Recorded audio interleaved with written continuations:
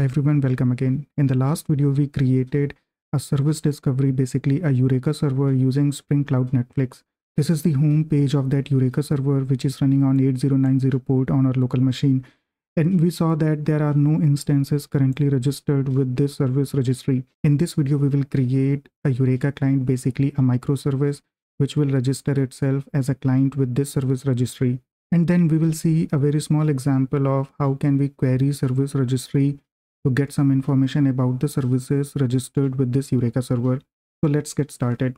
To create a new microservice, we will use Spring Initializr. It will be a Maven project with Spring Boot 3. We'll change the group. The artifact name, so we will name it Eureka client. We'll change the package then we need to add the dependencies because it's going to be a REST API. So we need to add the dependency for web and for Eureka. We need to add this one discovery client. Let's generate the project. This has now been downloaded. So we'll open it with IntelliJ. The project has now been downloaded and I'm going to open it with IntelliJ.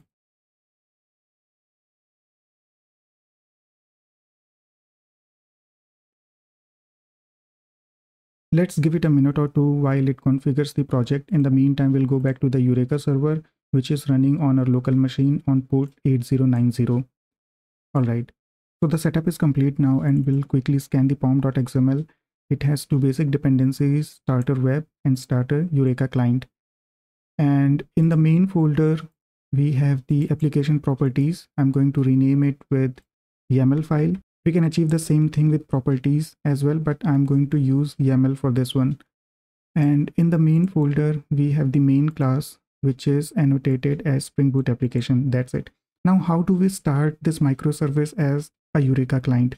Well, the good thing is we have added this dependency in the pom.xml Eureka client. And due to this, when Spring Boot will scan the project, it will see that we want to create a new Eureka client. And so it will auto configure the project accordingly. The only thing that we need to do is we need to provide some information where this Eureka server is running. To do that, we'll add some properties in the YAML file. And for that, we'll go to the documentation. And here we see the properties related to the Eureka server. So I'm going to copy it. And in the YAML file, we need to change the port because we know the Eureka server on the local machine is running on 8090. So that's the step number one. We have provided the information of that Eureka server the next thing that we will do is we'll add the port we'll change the port to zero that means when we run a new instance of this api spring boot will auto assign a random port to this api we don't want to hard code it because we want to run multiple instances of the same service. And so we'll set the port as zero so that spring boot can auto assign a random value. All right. And to test the setup we'll add a controller as well. So let's add the controller package. And in this package we'll add a simple controller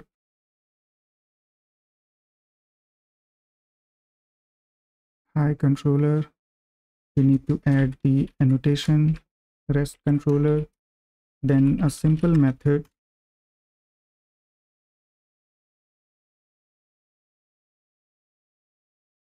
And get mapping annotation. Okay. Now, if we run this client, this microservice, it will start one instance of this microservice and it will assign a random port to this API. And if everything goes fine, this API will register itself as a client with the Eureka server, which is running on 8090 on our local machine.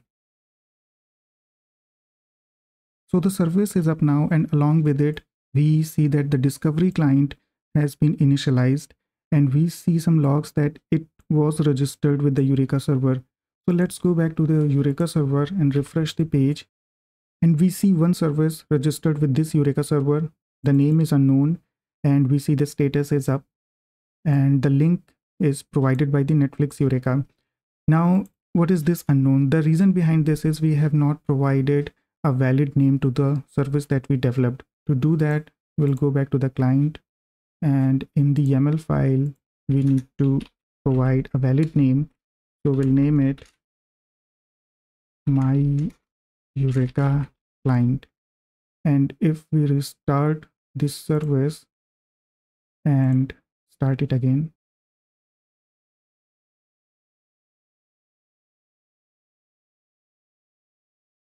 So the service is up and we see this time it is registering itself with the valid name which we provided in the application.properties file.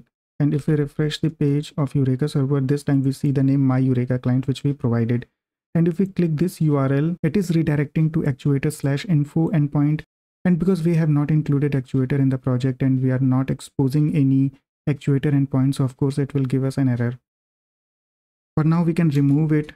And if we hit enter, we see the hi. It means the request was redirected to the controller to the API via Eureka. All right.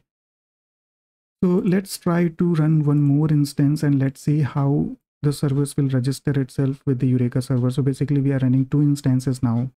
So the second instance is also up and we'll go back to the Eureka server, this one, and we'll refresh the page, but we still see the status and the count, which is one.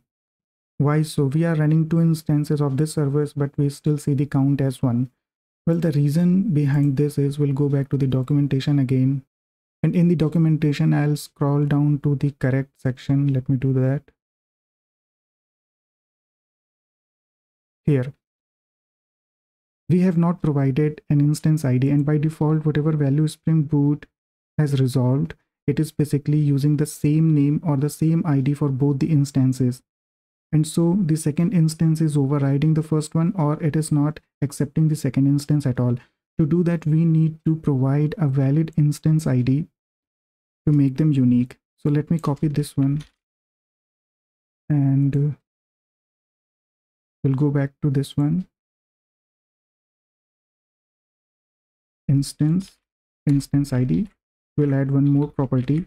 What it will do, it will fetch these values like spring.application.name, which is this one, and these values will be provided by the framework and finally a random value will be inserted to the instance id that will make this id unique so we'll stop both the instances and we'll start the service now so this is the first instance which is up now and we need to start the second instance as well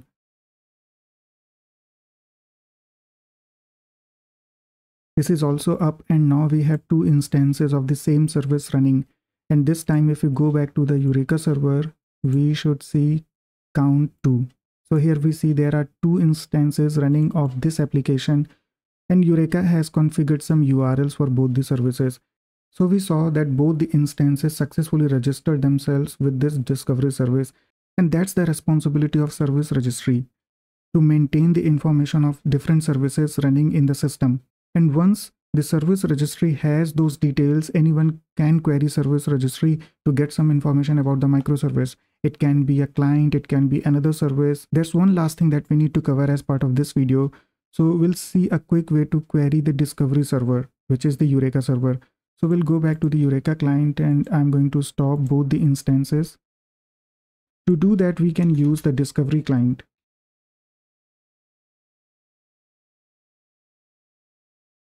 This one. And notice this is coming from the org spring framework. There is one which is specific to Netflix Eureka, but it's always the best practice to use the abstraction which is provided by the Spring framework. So use this one discovery client. And this is auto configured. We simply need to inject it. Auto wired.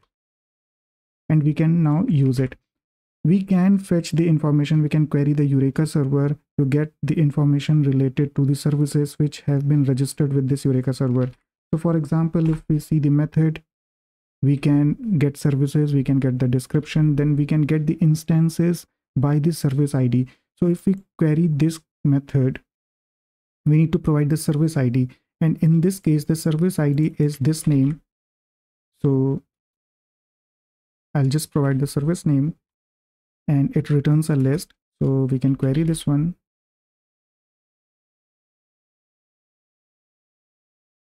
And now we can access data points like get metadata get uri get port get service id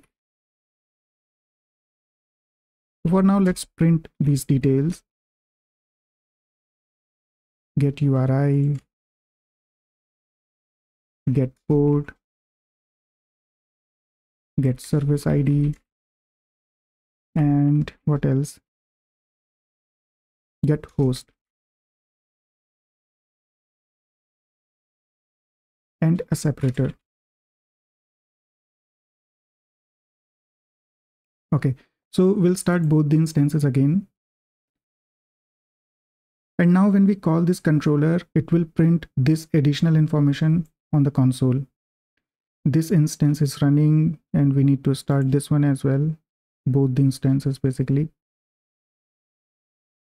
So both the instances are up now. Let me clear the console and we'll go back to the Eureka server. So if we refresh the page, we don't see any difference because there are still two instances running. But this time we'll query one of the services. If we go to this one and remove the actuator, hit enter. So we are basically calling the controller and it will execute the new code that we have written. So if you go back to the console, we see the data points that we printed. This is the host. This is the URI. This is the port of this service. This is the service ID and this is the host. And in the same way, any client or any other microservice can query the discovery service to get the information of registered services or instances. There's one thing that we have not covered in this video, which is how to call this service as a client. So a client should be able to call this service by the service name and internally the Eureka server should redirect the calls to appropriate instances in the load balanced way. So that is something we will see in later videos but that concludes our discussion on the service discovery and service registry with the help of Spring Cloud Netflix. That's all for now. Thanks for watching.